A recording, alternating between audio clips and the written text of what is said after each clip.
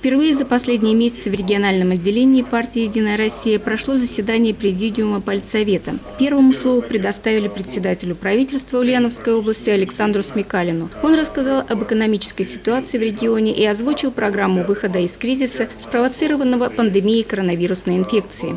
В рамках данного а, плана определены а, блоки поддержки и стабилизации а, рынка труда, в этой части э, включены мероприятия, которые э, направлены как на поддержку э, людей, которые остались без работы за этот период, так и на поддержку отраслей и предприятий, организаций, которые в текущей ситуации прикладывают все усилия для сохранения своих коллективов и сохранения занятости и выплаты, соответственно, заработной платы своим сотрудникам. Члены партии инициируют принятие региональных законов, которые помогают обеспечить региональные выплаты, дополнительные социальные льготы различным категориям ульяновцев. Несколько мер социальной поддержки граждан региона были рассмотрены на последнем заседании законодательного собрания региона. На э, последнем заседании э, нашего законодательного собрания Ульяновской области мы, мы приняли закон о юридической поддержке, оказании бесплатной юридической помощи всем пенсионерам.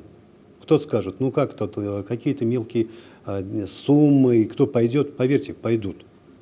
На сегодняшний день практика показывает, в день, когда осуществляется юридическая помощь, приходит до 100 человек. Это не обязательно в одном месте, это во всех муниципальных образованиях Ульяновской области.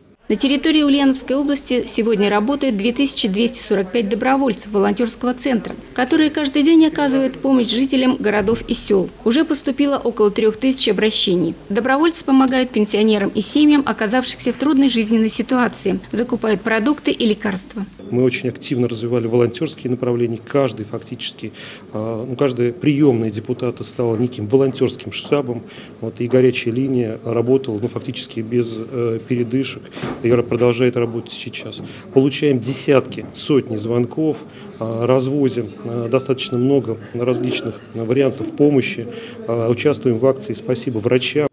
Напомним, в Ульяновской области ежедневно с 8 утра до 8 вечера работает волонтерский центр «Единой России» по оказанию помощи гражданам в связи с пандемией коронавирусной инфекции, созданный на базе региональной общественной приемной председателя партии Дмитрия Медведева. Контактный телефон 58 0008. Ирина Антонова, Даниил Сурков, Новости Улправда ТВ.